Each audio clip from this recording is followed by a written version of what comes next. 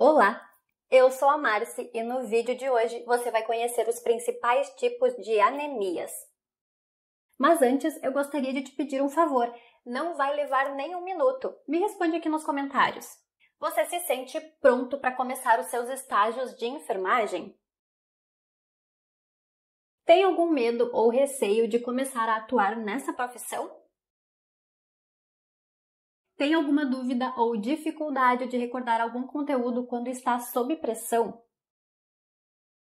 Pensando nisso, para te ajudar, eu criei o e-book Guia de Bolso, onde cada conteúdo foi pensado baseado no dia a dia do profissional da enfermagem, um guia completo e rápido de acordo com a sua necessidade. Esse e-book foi criado para te auxiliar e ser seu guia prático durante os seus estágios e em sua profissão, otimizando seu tempo e oferecendo maior segurança. Conheça o nosso e-book através do link no card e aqui na descrição. O que é anemia? É uma deficiência na produção de glóbulos vermelhos, que são os eritrócitos, ou na concentração de hemoglobina. Os glóbulos vermelhos transportam oxigênio para todos os tecidos do corpo. E a anemia está relacionada com esse transporte de oxigênio no sangue. Nessa primeira imagem, é possível observar a quantidade normal de glóbulos vermelhos. E na segunda imagem, é possível observar a quantidade de glóbulos vermelhos na anemia. Tipos de anemias: Anemia falciforme. A hemoglobina é produzida de forma anormal. Observe na imagem que a hemácia possui uma forma de foice. Sinais e sintomas: infecções, dores nas articulações ou ossos, dor súbita no peito, desidratação, febre, tontura, dispneia, edema, palidez e fadiga. Tratamento: O tratamento da anemia falciforme inclui medicamentos, transfusão de sangue e transplante de medula óssea. Anemia plástica: A medula óssea não produz quantidade suficiente de sangue. Sinais e sintomas: infecções, fadiga, febre, tontura, taquicardia e sangramento. Tratamento: O tratamento da anemia aplástica inclui medicamentos, transfusão de sangue e transplante de órgãos e enxertos ósseos.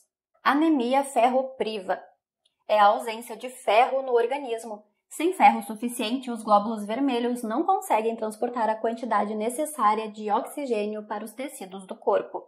Sinais e sintomas: tontura, dispneia, fadiga, cefaleia, irritabilidade, letargia e queda de cabelo. Tratamento: O tratamento da anemia ferropriva inclui medicamentos e alimentação. Anemia megaloblástica. Os glóbulos vermelhos são maiores que o normal.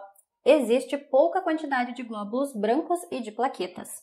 Sinais e sintomas: cansaço excessivo, dor muscular, inapetência, náuseas, palidez e formigamento nas mãos e nos pés.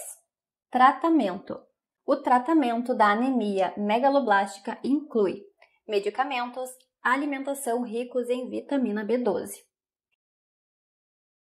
Eu já estava esquecendo de te mostrar. Olha só essa blusa estampada que a Mameluco me enviou. O tecido é super confortável com estampas delicadas para animar o seu ambiente de trabalho.